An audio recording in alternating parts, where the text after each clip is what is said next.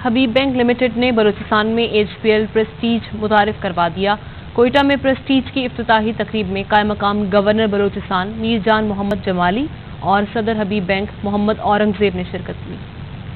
Limited ने high net worth clients की माली और तर्ज ज़िंदगी की जरूरियात पूरी करने के लिए बलूचिस्तान में एच बी एल प्रेस्टेज मुतारफ करवा दिया। इस सिलसिले में तकरीब H B L complex Quetta में मुनद की गई, जिसमें काय मकाम गवर्नर बलूचिस्तान मीर जान मोहम्मद जमाली सदर H B L Mohammad Aurangzeb समेत बैंक के आला हुकाम और शहरियों की बड़ी तादाद ने शिरकत की। प्रेस्टेज के इफ्ताह के बाद काय मकाम गवर्नर बलूचिस्तान का कहना था कि एच बी एल बैंकिंग की दुनिया में मुस्बत इकदाम कर रहा है।